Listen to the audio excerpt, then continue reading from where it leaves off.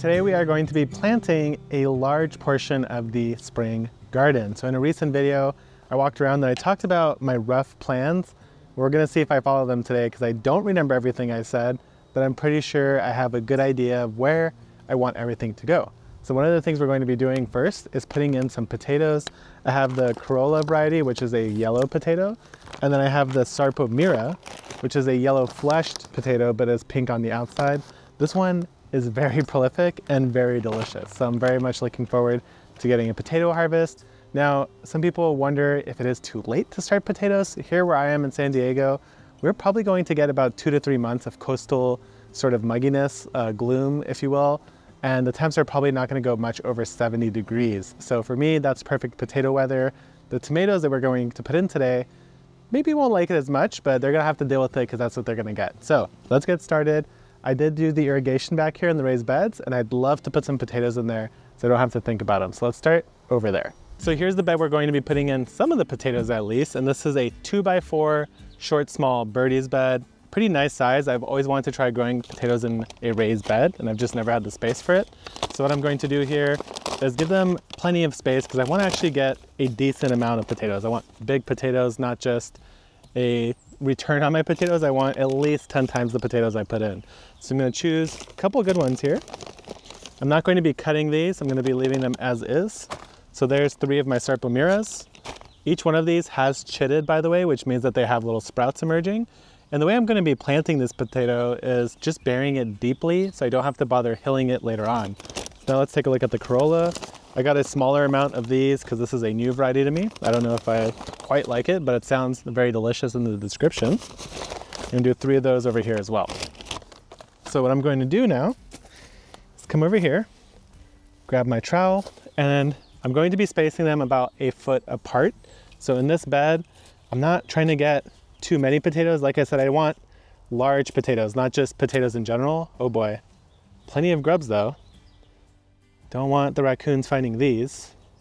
Recently got hit by raccoons pretty hard on the other side of my raised bed over there. So let's go pretty deep here. This trowel is six inches.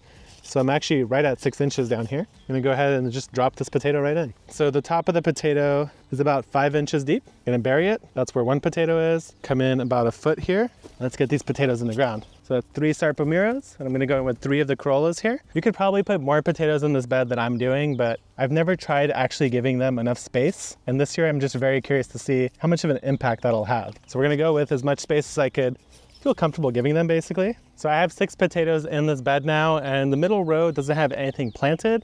So once we get into the seedling starts I have in my greenhouse, we'll see what I have left that would make sense to add in here because I'm definitely not just going to leave this with potatoes.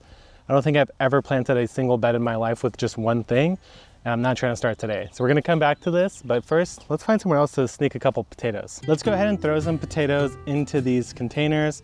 For context, this is just a random assortment of leftover soil from previous grows that I did over the winter. Some of the soil is dry, some of it is a little hydrated. All I did is I blended together a couple different grow bags and called it a day. With potatoes, they don't need that much in terms of nutrients. They're considered a pioneer crop. That doesn't mean that they won't benefit from nutrients, but they don't necessarily need them. So what I'm going to do here is I scooped out some of the old potting mix. That's what you see over here. And then on this side is fresh compost. This has been unused, just ready to go compost. What I'm going to do here is I'm going to blend together the old potting mix with this fresh compost, and that's what we're going to use to top these potatoes. As for what's inside these bags, well, there's nothing but old used potting mix, so that's it. That's how we're gonna start. Now, I haven't had good success in the past growing potatoes in grow bags. They always grew, but I never really felt like I got enough potatoes back for it to be worth the effort.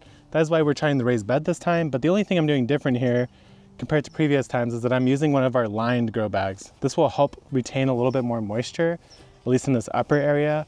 And I'll see if that makes any impact on actual yield. Because like I said, I've always got potatoes, but I've never got enough to actually feel like it was worth it. So what I'm going to do here is I'm going to choose two smaller potatoes. So these are like maybe a little bit smaller than an egg. I'm going to take them and bury them until they're about two inches away from the bottom of the grow bag. And then I'm going to fill this bag of soil back up. So for the other one, the Carola, actually I only have two potatoes left, so that's perfect. Whatever they are, that's what's gonna go in. Same idea here. I'm just pushing them into this layer of soil. So here's the potato and the soil is filled up so that it's about, I don't know, four to six inches filled from the bottom. So what I'm going to do is take my potato here and then I'm going to just make a little cavity, drop the potato in until it's about two inches from the floor and then cover it up with soil. And that's it. Now I'm not gonna bother hilling these potatoes, meaning progressively adding soil. What I'm going to do instead is just go ahead and entirely backfill this bag. I'm going to just see if that's possible. I know that it's worked in the past. I just don't want to bother coming back here and hilling it all the time. I guess for insurance, I'll leave the top two inches unfilled.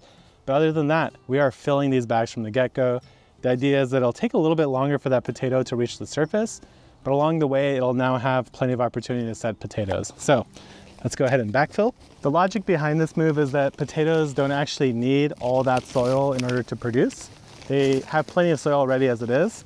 What the straw is going to do is a couple things. First of all, it's going to lock in a lot of moisture, keeping these potatoes happy. Second of all, it's not gonna get as hot now because it's going to have a thick layer of straw on top and potatoes don't like the heat. And thirdly, it's going to make sure the potatoes are still covered from sunlight so they don't turn green, but the potato could easily push through this and grow just fine. So this is place the potato about two to four inches from the bottom, backfill with soil, and then the last two inches, I'm adding just straight up mulch. This could be any mulch you have on hand. I happen to have straw, so that's what we're going with. So we'll check back on this, I guess in like three months, and see if this was worth it. And then we'll be able to actually compare it to the raised beds. And maybe I'll only be growing potatoes in raised beds from now on. So that's it for potatoes today. Let's go ahead and move on to the next plant. So over here I have a selection of flowers that I've been potting on for a while and looks like I have two Queeny Lime orange zinnias. Those are some of my favorites. I think two zinnias will actually fill out that bed quite nicely with the potatoes. So I think I'm gonna grab that and anything else in here? All these other plants are honestly a little bit too big. They might outcompete those potatoes. So let's go ahead and pop these zinnias in. On the way out here, I actually saw this nasturtium start, which is quite large and definitely needs to go in the ground. So let's go ahead and add a little spiller here. Not because I don't have enough nasturtiums already, but because I actually really like them. And uh, I'm not gonna let this one go to waste. So that's gonna be a corner one, because that's going to spill over the bed, cascade down into the garden. Now for the two zinnias, we're gonna go ahead and space these out evenly on this bed. So I'm gonna put one on the far end here, add some nice color contrast up against this wall, the cinder block wall, which is very ugly. So there's one. And then the other guy, I think I'm gonna just go ahead and put it right in the middle. I already have the nasturtium on the end there. So having a nice little flower right in the middle, I don't actually mind that. Now when it comes to growing zinnias, you can actually top them, which means that you just simply take the top like this, pinch it off, and now what's going to happen is that zinnia is going to branch. So I'm gonna do that to this side as well here, drop them to about the same height. So here's the portion we just removed. So you can see the two leaves here. What's going to happen now is every time there's two leaves up against the stem, that is where new growth comes out. So by doing this, instead of having a single stalk come up and then flower, we're now going to start with at least two stalks that are going to produce more flowers. That's going to make a bushier, lower zinnia with more flowers overall rather than a super tall one that just produces one big flower and then starts producing more later. We're gonna start off with at least two flowers at the beginning and they're gonna be lowered to the ground and give us a bushier effect. So that is one of the effects of pinching your flowers. Zinnias is one of the few flowers I bother doing that with. There are others that benefit, but zinnias I always think are really nice when you pinch them at least once at the beginning. Next to that short bed where we put the potatoes is my tall 4x4 bed. I'm trying to figure out what to put in there. I don't want to put tomatoes because it's too tall of a bed already. And my peppers, well, they're not quite ready yet. They're actually pretty small. Here's an example of what they look like. It's a little early to put these guys out, but they will be potted up today. So what I'm thinking is I have a couple basil plants that are ready to go. I also have these lemon sun patty pan squash. These are like the little yellow patty pans, the little UFO shaped ones. And I have some of this jewel amethyst eggplant. This is an eggplant that produces these little baby eggplants. I think the plant itself also doesn't get that big. So I'm just kind of curious to try what would happen if I put eggplant out this early. It's a little bit earlier than usual. Eggplant is a heat loving crop, but I have the space for it. I don't have anything else to put there right now as far unless I'm blanking on something. So let's go ahead and plant this out and I'll show you how I space these guys out. So here is the four by four tall birdies bed. And what we're going to do, like I said, is put some of this lemon patty pan squash a couple basils, I have a purple and a green, and three of these jewel amethyst eggplants. So the first thing I wanna do is actually try to think through a little bit how I wanna actually lay this out. I'm thinking the patty pan squashes are gonna go on this side because I want the eggplant to get as much heat as possible, which is this side, which is facing west, where the sun's gonna hit it late in the afternoon. So I'm thinking we'll go one, two, three eggplant, and then we'll do one, two squash, and then put a basil, basil. So let's see what that looks like. The first thing I'm gonna do is pop them out of these cells, do a little laying out, and we'll see what that actually visually looks like. So one right there, one right here, third one right there. One squash, second squash, then green basil is gonna go up front here. My purple basil is gonna go right back there. And so there we have a rough layout. Now these eggplants are going to fill in this area entirely. The basil, if I prune it, similar to actually the zinnia, I could go ahead and pinch this top right here, just like that. Oh my God, that smells so good. And then this will now be a bushier basil plant up front here, where I'm definitely going to be harvesting a lot of basil. I've been looking forward to oh, basil for such a long time. And then over on this side, we'll be getting plenty of squash. Now, important thing is that this is a far bed. So traditionally I would never put any summer squash out this far away from the kitchen, but it's early in the season. They're not gonna grow that quickly. And honestly, I don't plan on leaving these squash in here for too many months. They're probably gonna get a little bit unruly. So I'm gonna go ahead, pop these all in the ground, and then we're gonna move on to tomatoes my most critical planting because they are my favorite plant and we have some cleaning up to do including harvesting some giant cabbages. So I just went back into the greenhouse and I found a couple more plants I want to put in here because this bed seems a little bit lonely. The first one is actually a poppy. This is a dark grape poppy and I am transplanting this. I did start it from seed. I'm saying that because a lot of people tell me that you can't do this even though I'm literally doing it right now in front of you guys. Here's the poppy plant that I started from seed. The key when you're transplanting it is that you don't want to actually mess with the roots at all, which is why these Epic 6 cells are so nice because they train the roots to go straight down and not wrap. So by putting it gently into the ground, just like I did there, it should do totally fine and grow into a beautiful poppy. Now the other thing I noticed is that I have these bunching onions. These are basically scallions. So what I'm going to do is just loosen these out a little bit, not all the way. I'm not gonna separate every single one, but I'm gonna plant them in little bunches across any blank space. These are gonna form pretty quickly, much before this uh, eggplant will, for example. So I'm not too worried about that. And they should maybe even help with some pest deterrent because onions are very stinky. Allegedly that helps deter things like aphids, although I haven't had a chance to really see if that's true or not, but I'm willing to try it. So let's go ahead and put these in. Again, I'm not going to be doing anything fancy here. I'm just loosely splitting them up a teeny bit, not even very well, and just putting them in the ground. I'm gonna pop them anywhere where I have some free space. So there you go, just like that. I'm gonna roll them, tease a couple apart, like so. Then I'm gonna plant them in little bunches anywhere where I have a drip emitter actually positioned. And if they're not perfectly upright and straight right now as I'm putting them in, I'm not worried about that either because once they establish, they'll upright themselves and follow the sun. So here we go. Perfect. So here's what the final planting looks out. Bunching onions scattered across, one basil, two basil. Then we have the one, two, three eggplant, the two squashes right there, and then there's the poppy that I put right dead center in the middle. So we'll see how that goes. But the poppy is going to add a splash of color. The nasturtium there is going to continue to grow and spill and also add color. And then the onions are gonna get harvested out probably at the same time the eggplant starts producing. And by then I'll have plenty of basil and plenty of squash coming along as well.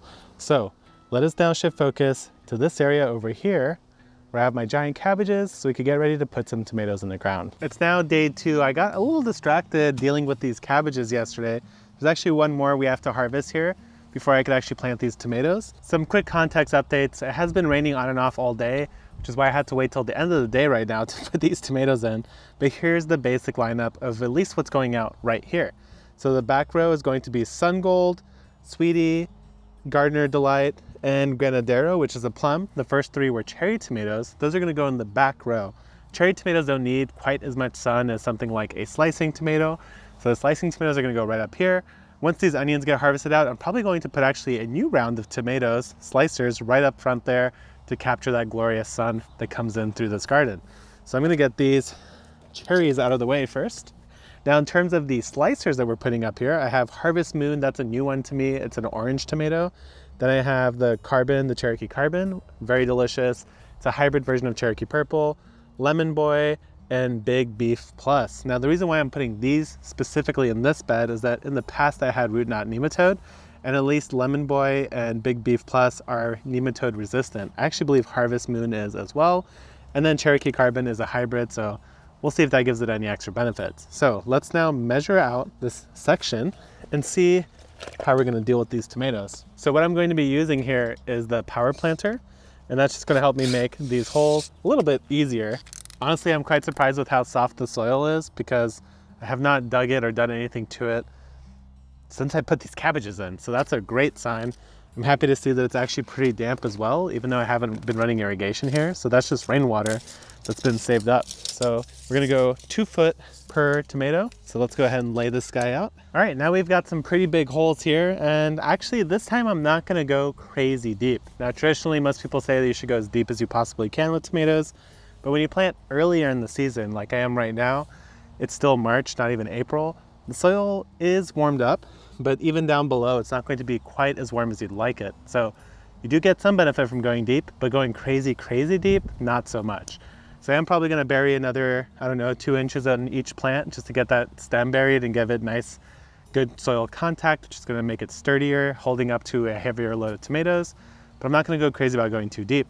The other reason why is because I am actually going to be amending the hole. Now the only thing I'm putting in as an amendment this year is neem cake meals. So this is neem cake meal. It's similar to neem oil, but this is the leftover stuff when you press it.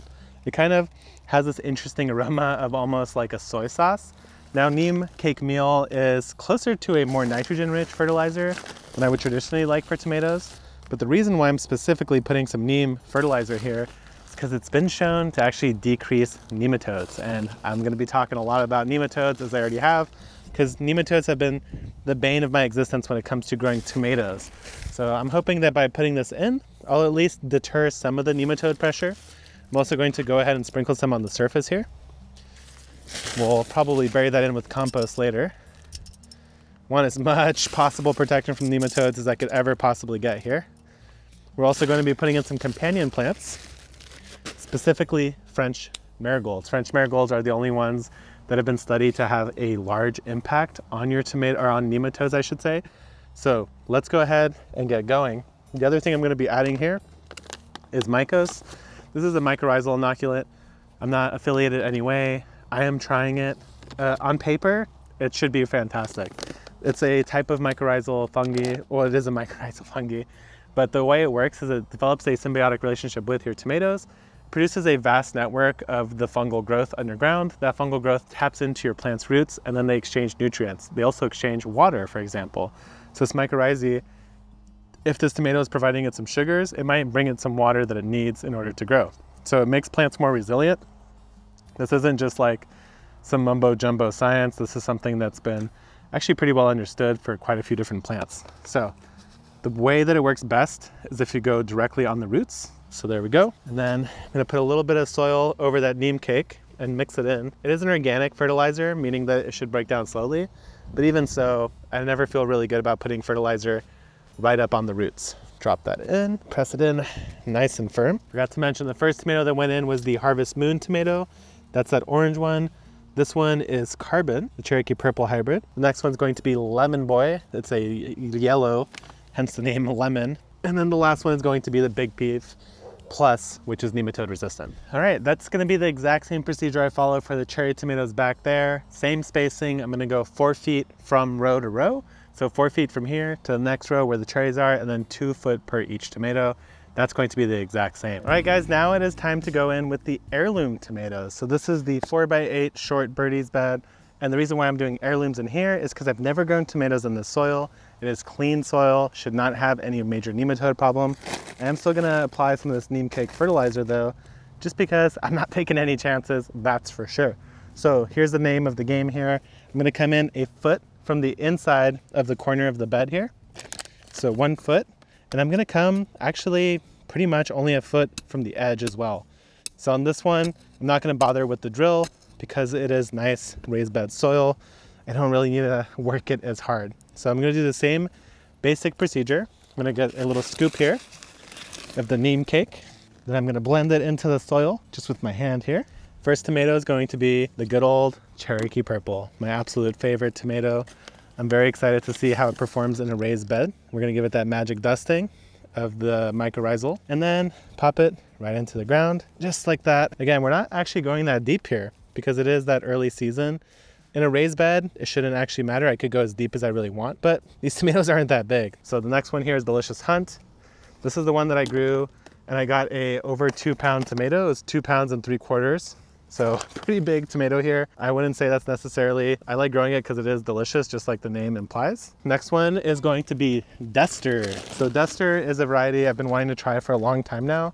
Um, apparently very, very delicious. The last tomato of the day here is going to be Italian heirloom. It's been 15 days since I planted all this stuff and went on vacation. So I thought maybe it'd be interesting, instead of just releasing the video of me planting, if I actually did a follow-up after the fact and showed you how all these plants looked, what issues I might have run into, what issues I didn't run into, and just the general state of how these plants are 15 days after transplant. So let's get started in the big bed right over here where I put those tomatoes. All right, first bed over here looks fantastic. No real complaints whatsoever. The tomatoes are growing very, very nicely. They're branching very nicely. They even have this gigantic flower, which I'm definitely not removing. I don't believe in removing the flowers once the season has begun. If it's early season and you're still transplanting, sure, remove the flowers is probably a good idea. But these tomatoes are growing. Who am I to say they can't support those tomatoes? If they couldn't support the tomatoes, they would just drop the flowers on their own. So first update here, less cabbages, but all the tomatoes look fantastic. Now, the real problems are pretty much exclusive to this bed over here where we just put in the random seedlings that I had, including the eggplants. As soon as I left, Apparently this bed got dug out multiple times because I came back and this eggplant was buried three leaves underground because it just got kicked around by raccoons. And uh, yeah, so this hasn't grown much. this basically was harassed the entire time. I lost like all my onions. Here's a sad little pile of dried up onions. I think these are the only ones that made it. It looks like there's a couple there. The rest is gone. The squash plant, gone. Not even worth talking about. It was entirely decimated, dug up and destroyed. The basil is hanging in there. It's not looking amazing for sure, but it's still alive as is the eggplant. Now the other thing I did is I sprinkled the entire surface here with chili flakes. And ever since I've done that, they haven't dug in the beds. So I'm happy to say that so far that seems to be working. Over here, likewise, this was dug up. The chili flakes, by the way, was after I came back from vacation. So that's why you see it now. This was dug around a bit and one potato was literally on the surface of the soil. So I buried it again, it should be fine. But the cool thing here is that we are seeing a lot of growth. All the potatoes have emerged. They're starting to leaf out and I'm hoping to have a wonderful bumper crop of potatoes out of this bed. The flowers basically haven't moved at all, which is kind of weird. I'm not sure if they're getting enough light, especially this one back here might be a little bit buried. But yeah, potatoes are looking good. Not too worried about that. I'm actually pretty happy to see that they are growing. Now over here, we did these in-ground tomatoes. This is my most famous bed for getting dug up by raccoons multiple times. All of these were fully caged before I left and they actually grew so much I had to remove the cage this last week. And uh, just like the tomatoes in ground, they're actually just about the same size. They look really happy and healthy, really wonderful. They put out a ton of new growth and likewise this bed got the chili flake treatment here because I definitely want to be eating the last of the lettuces that the raccoons left for me. This cauliflower might actually happen now that the raccoons aren't messing with it anymore because they are getting a nose full of chili flakes. But yeah, this bed, another success. I'm very happy to see that everything's hanging in quite nicely there. So there's one more update and that is the container potatoes. So here are the containers and we'll just go ahead and dig through one of them. Just try to be careful. Oh, okay, there it is. So here's the soil line. Let me get a little closer. Here's the soil. This is the straw that we buried it in. And here's one of the potato sprouts. So it's literally a, maybe a half inch away from the surface of breaking through to the light. So I'm happy to see that. Basically, everything is alive. It is growing, especially the tomatoes have grown quite a lot. That bed got trolled by raccoons, but otherwise, uh, things are looking good. So that's the two week update. Let me know if you guys wanna see this again. This wasn't the most dramatic difference, but at least I'm able to show you guys some of the problems that might happen along the way, like the raccoons that destroyed that bed back there, everything else is looking really wonderful and they've put on a ton of growth and I'm very happy to see it. So any questions, drop them in the comments and I'll see you guys next time.